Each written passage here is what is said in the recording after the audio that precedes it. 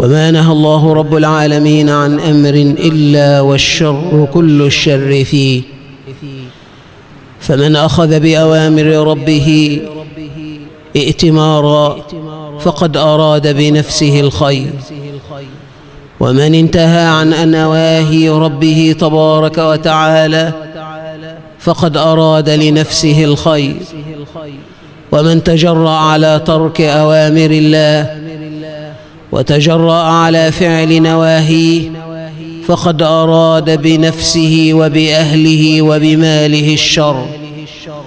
لأن الله رب العالمين حفظ الإنسان بهذا الدين فإذا ما استقام المرء عليه فقد أراد أن يحفظ نفسه وماله وعرضه ووطنه.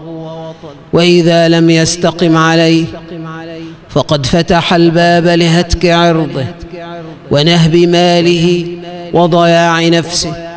واعلم أن الله رب العالمين ما أمرك وحدك وإنما أمر العالم كله كما أمرك وأن الله رب العالمين لم ينهك وحدك وإنما نهى العالم كله قبل أن ينهاك فإذا ما تجرأت على نهيه فإنك داع إلى ضلالة والذي يدعو إلى ضلالة عليه إثمها وإثم من صار عليها إلى يوم القيامة.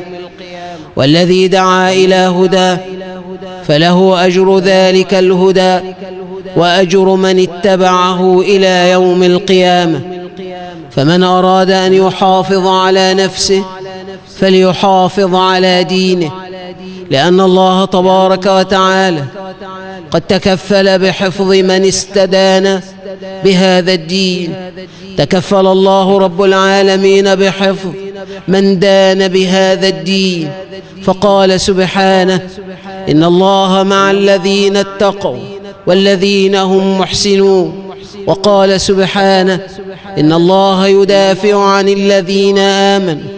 واعلم عبد الله أن العالم في هذه الآونة على بركان لا يدرى متى ينفجر صراعات عالمية صراعات محلية صراعات بين الأخ واخيه صراعات بين الزوج وزوجه صراعات بين العامل وصاحب العمل.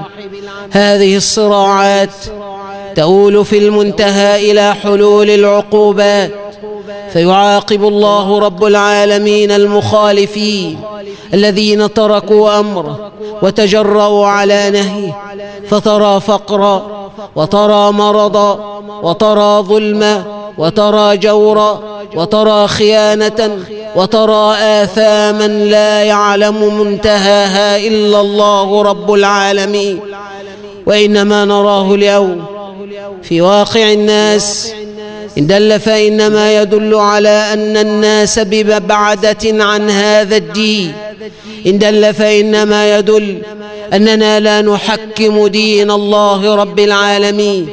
لا في عباداتنا ولا في معاملاتنا ولا في أخلاقنا وسلوكنا ففي سورة النور يأمر الله رب العالمين بغض الأبصار يأمر بغض الأبصار للرجال والنساء يأمر الله عز وجل بحفظ الفروج يأمر الله رب العالمين بالعفة وحينما تسير في شارع من الشوارع يندى لك الجبين يأسف المرء لما يراه من تلك المخالفات. أين غيرة الأب على ابنته؟ أين غيرة الزوج على زوجته؟ أين غيرة الأخ على أخته؟ أهانت علينا أعراضنا؟ أهانت علينا نساؤنا؟ أهانت علينا بناتنا؟ إن المرأة حين تخرج يستشرفها الشيطان يزينها في قلوب الناظرين. ثم بعد ذلك نقول لماذا هتكت الأعراض لماذا فجر بالنساء؟ إننا نحن الذين تسببنا في ذلك. لقد أثرنا الغرائز الكامنة في النفوس الهادئة.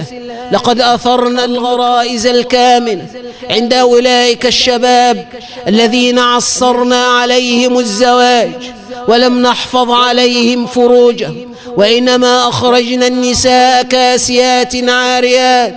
قلنا انظروا إلى هذه المفاتن وانظروا إلى هذه الشهوات وإياكم أن تقتربوا إليه.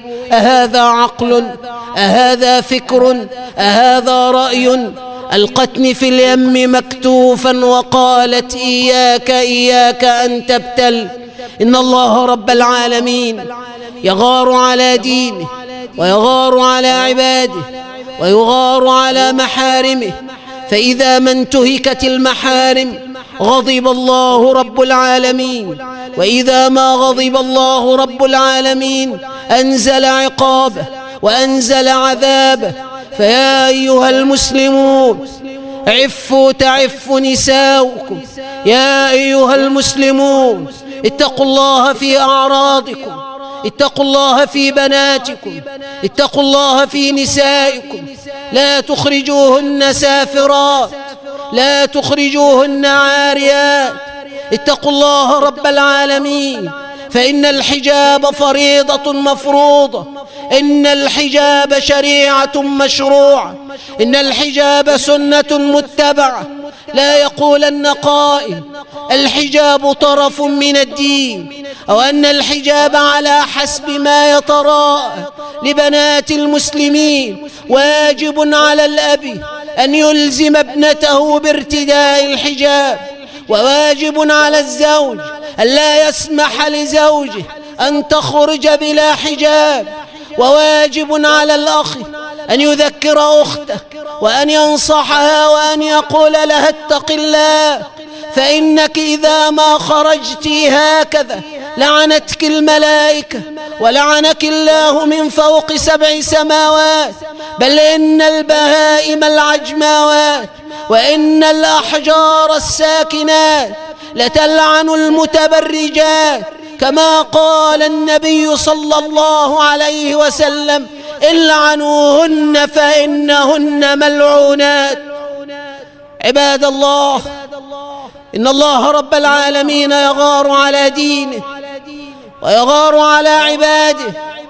وإن الله رب العالمين يغضب وإذا غضب الله أنزل عذابه وإذا غضب الله أنزل عقابه والأيام حبلى. لا يدرى ما الذي ستلد. صراعات عالمية. لا يدرى ما تؤول إليه. وحينما ينزل الصراع. ينزل الله العقوبة على المخالفين. نعاقب في بيوتنا ونعاقب في أرزاقنا ونعاقب في أبداننا. فاتقوا الله وتوبوا إلى الله. قبل نزول العذاب أوبوا إلى الله رب العالمين. قبل أن ينزل علينا العقاب فاللهم ردنا إلى دينك مردا جميلا.